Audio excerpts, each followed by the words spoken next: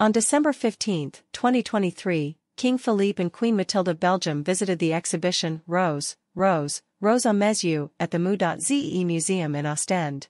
James Ensor was a Belgian painter and printmaker. In 2024, it will be 75 years since the passing of James Ensor. Belgium is commemorating 75 years since the artist's death with a year-long season of exhibitions and events.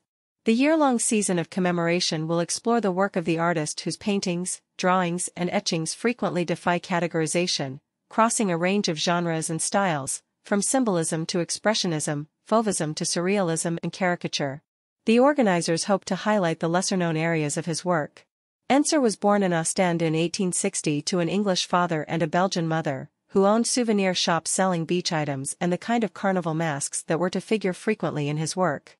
As a teenager he studied at the Royal Academy of Fine Arts in Brussels, before in 1883 co-founding the artists group, Les Vingt, alongside other Belgian painters, sculptors and designers including Fernand Khnopff, Theo van Rysselberghe and Theo Hannon.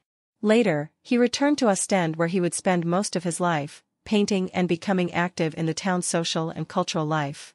The extensive series of events celebrating the artist, supported by the Flemish government, will include a total of 11 major exhibitions taking place across Ostend, Antwerp and Brussels, as well as numerous other related events ranging from concerts and literary events to children's theater performances.